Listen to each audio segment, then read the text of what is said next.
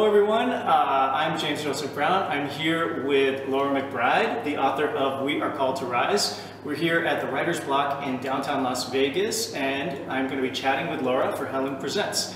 So, Laura, I am so glad to have you here with us. Thank you so much It's for having me. I know, it's such a pleasure. I've been dying to talk with you about this novel. I wa- appreciate that you read it. I, It's you know, I read it twice.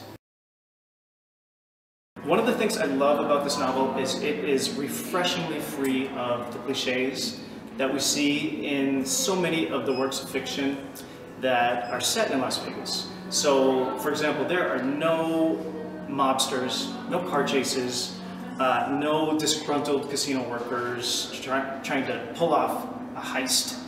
And I sincerely thank you for that. I, well, I've lived here a long time. I, so- and I've lived here a long time too, and and a lot of readers that have lived here are sincerely thanking you for that, and I think it's probably part of the appeal of the book for a lot of us.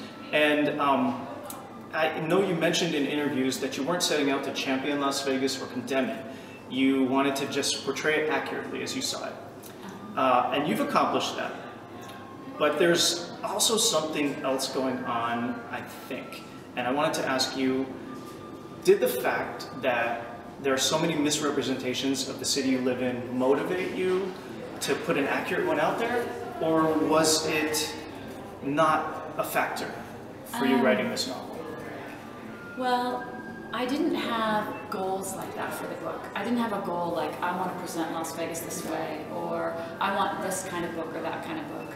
Um, I, I, I, did have a very clear understanding of what I wanted. I wanted someone who was like me, who loves to read, who um, loves to sort of fall in a book and really care about the characters, um, but who's very busy, reads late at night. You better keep me, you know, paying attention, or I'm not going to make it through, like I used to do in graduate school. And so I was thinking all the time about this busy reader who still loved words and wanted to love a book and trying to give that person, uh, honestly, an entertaining read. So it wasn't that it was a goal, it was more that my lived experience was that it was uninteresting for people to see Las Vegas in such a flat way. And it's not that there are not interesting things about the strip and our history and the casinos and gambling and it, a lot of it is fascinating and it but it is a long way from the whole picture. Well, there, that, that's interesting because there are so many of your characters that sort of represent that view that this, this um, sort of garish caricature of Las Vegas is just uninteresting to them. So, uh, for example, uh, Avis has a friend who was a former sex worker, uh, but just briefly. She just dabbled in it and then she moved on. And it's just uninteresting to them. It's just a story they tell over wine one night Right. and they just move on. There's no judgment. Right. It's just a part of the tapestry of their, their girls' night, Right. uh, the, the stories they tell to each other, and they, they move on. Well, I think this is one of the best things about having lived so much of my adult life in Las Vegas. And it, it, it, I don't think it was as true of Las Vegas when I first came. It was true in certain ways, but not in others.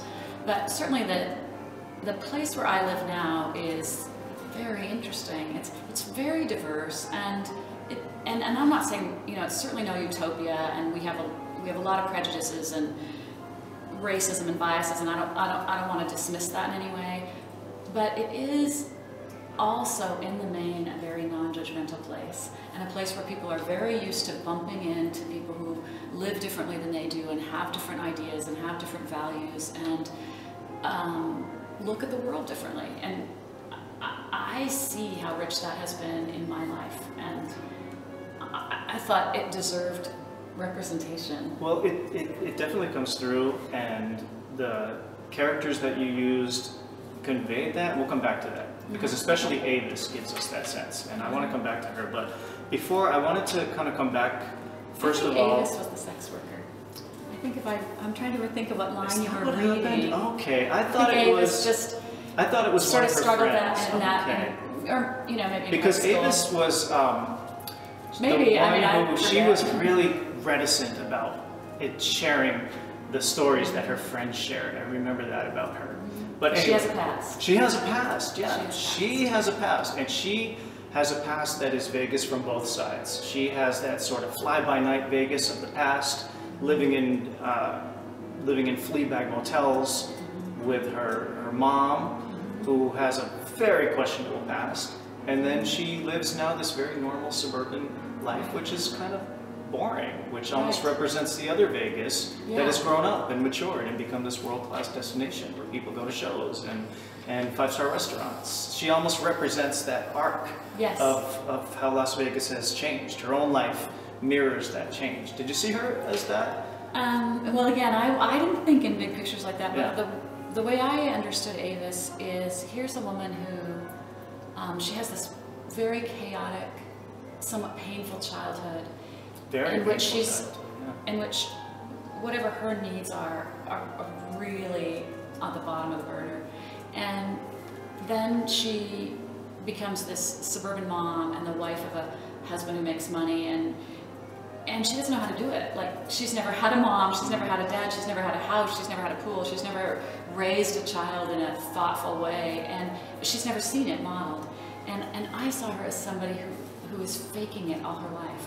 She's just she's just trying to figure out how are you supposed to do this, and it's not really until she gets in the middle of her life, you know, at the time of this novel, that she starts to draw back to who that child was and to see value in that child and then to be able to question choices she made as an adult woman.